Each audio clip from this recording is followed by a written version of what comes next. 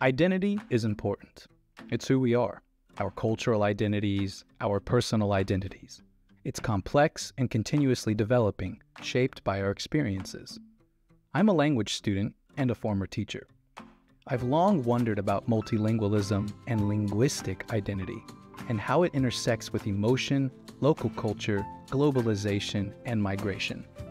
Most people in the world are multilingual. They speak more than one language. What about you?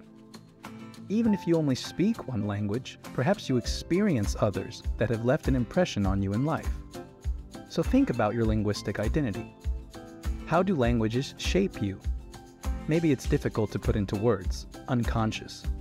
So, let me explain a visual method called language portraits. This powerful tool can be thought of as didactic material, a reflective exercise, or even thought-provoking artwork. You start with a blank silhouette of a body. You fill it in with different colors, locating your various languages onto or outside the body. Language here means any variety of communication.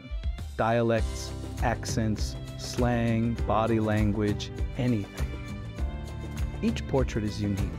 Here are examples from my master's research. They are visually striking, and they raise questions. What would you ask the creators of these?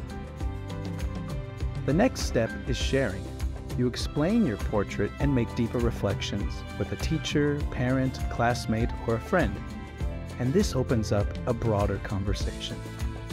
Language portraits can uncover aspects of your linguistic identity that weren't conscious previously.